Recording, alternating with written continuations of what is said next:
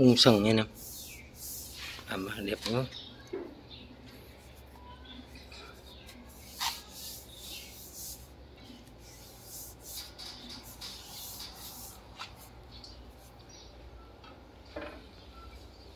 Quá đẹp.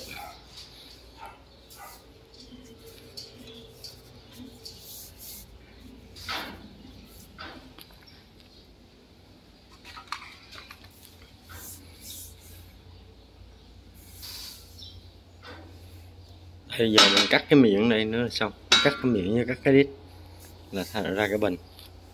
Cái này mình cho giữ gỗ nha nè. Cho giữ gỗ chứ không có tiện vô cho nó mất gỗ nhiều.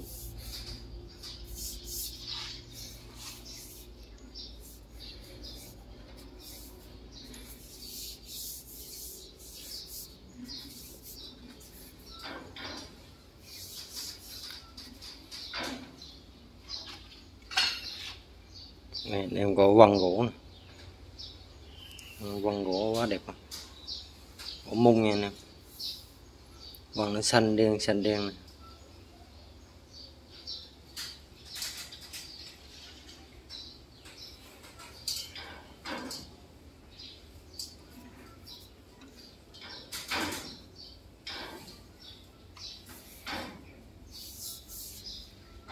rất đẹp này.